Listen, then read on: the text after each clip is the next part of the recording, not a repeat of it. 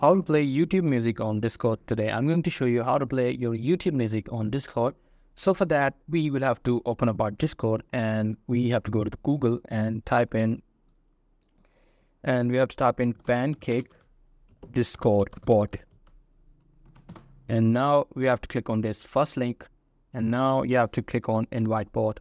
What it will do is it will invite a bot into our server and now it will take us here. They might ask you to log into your Discord as well. Just log in. After that, you have to select the server in which you want the bot to be added. After selecting the server, you have to click on continue. You can select the permissions you want to give it to your bot and after that, you have to click on authorize. It will ask for a captcha. Uh, after completing the captcha, the bot will be added to your Discord server. It might take few seconds. In my case, it will take about 10 to 15 seconds or maybe less.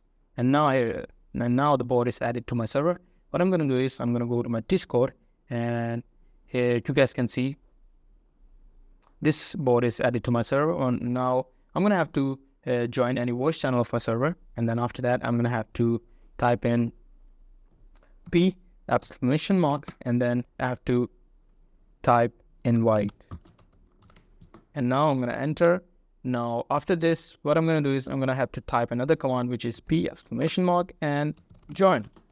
And it, will, it is joined in the voice channel I am. And now after that, the last thing is uh, you have to type in p exclamation mark and the link of the music video you want to play. So what I'm going to do is, suppose I want to play this music video, I'm going to copy this link and then I'm going to paste it here. After entering it, the pancake will start to uh, playing this music.